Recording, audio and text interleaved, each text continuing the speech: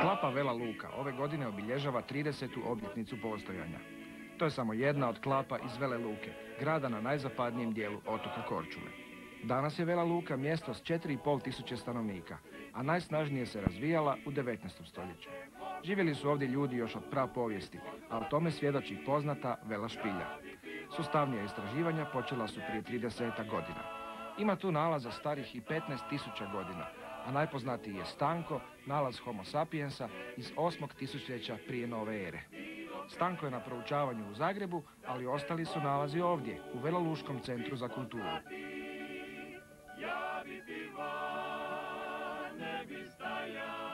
A nakon obilaska arheoloških nalazišta i muzeja, povratak klapi Vela Luka i njihovom domaćinu Josipu Orebu.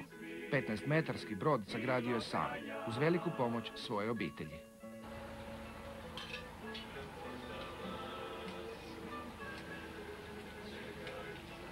I dok se fritule tek pripremaju, gazda je već priredio srdele na saur.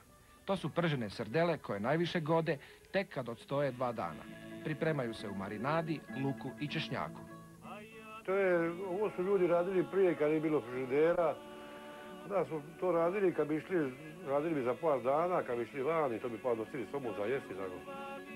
Ohrabrena fritulama i odličnim domaćim vinom, klapa Vela Luka ispraća nas iz Vele Luke. Srdačno kao što su nas i dočekali.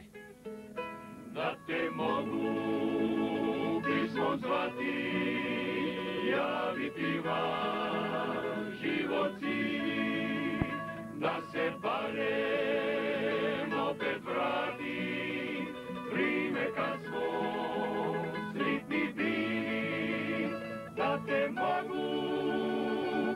pismo zvati, javiti vam ne bi staja, da se stara ljubav radi, ne bi pismi bilo kraja.